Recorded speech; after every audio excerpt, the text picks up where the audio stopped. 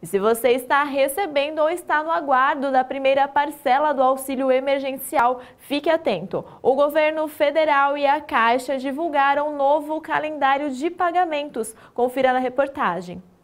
As novas parcelas serão creditadas a partir desta quarta-feira. Porém, é bom ficar atento porque o novo calendário de pagamentos passa a ser organizado em ciclos de crédito em conta poupança social digital e saque em espécie. Com isso, os beneficiários continuam recebendo a parcela que tem direito no período de acordo com o mês de nascimento. Já nesta quarta-feira, a previsão é de que 3 milhões e 800 mil brasileiros brasileiros nascidos em janeiro recebam o crédito na poupança social digital. Os demais terão os valores creditados sucessivamente por mês de aniversário, sempre às quartas e sextas-feiras. Já o calendário de saques em dinheiro começa no sábado, dia 25 de julho, também sendo liberado por mês de aniversário. São quatro ciclos de pagamento daqui para o final do ano, e aí não importa se ele vai receber a quarta parcela, a terceira parcela. Se ele nasceu em janeiro, ele começa a receber amanhã e depois no mês de agosto, quando começar o segundo ciclo, ele recebe a outra parcela que ele tiver direito e assim por diante. É importante frisar que todos os beneficiários estão inclusos nessa mudança, desde aqueles que iniciaram os recebimentos em abril, como os mais de 720 mil que ainda devem receber a primeira parcela. Os ciclos de crédito em conta e saques em dinheiro seguem até o mês de dezembro. Até lá serão pagos ao todo cinco parcelas, com o valor creditado na poupança social digital. Beneficiários podem utilizar para fazer compras e pagar as contas. Ela é movimentada apenas no aplicativo Caixa Tem.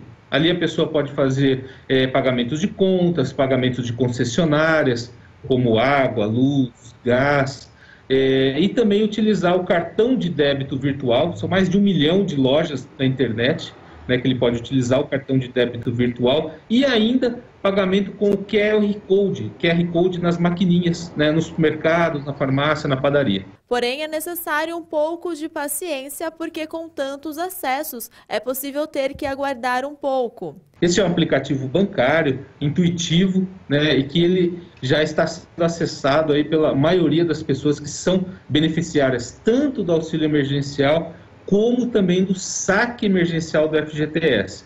Então, só do saque emergencial do FGTS, são 60 milhões de trabalhadores que nós realizaremos o pagamento nesse calendário aqui.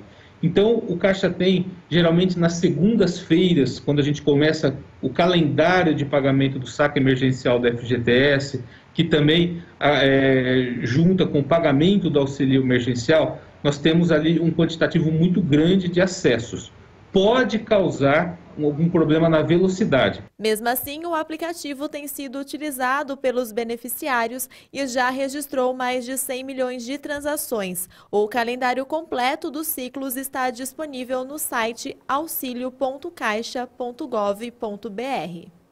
E quem teve o seu auxílio negado ainda tem tempo de fazer a contestação, mas não é mais possível realizar um cadastro novo. A Caixa ainda informou que o calendário de ciclos não altera a rotina de pagamentos para quem recebe o Bolsa Família. Para esses beneficiários, os, os repasses continuam seguindo a ordem do dígito final do número do NIS, sempre nos 10 últimos dias do mês. Sendo assim, a quarta parcela começou a ser paga nesta segunda e segue até o dia 31 deste mês. A quinta e última parcela dos inscritos no Bolsa Família será paga entre os dias 18 e 31 de agosto.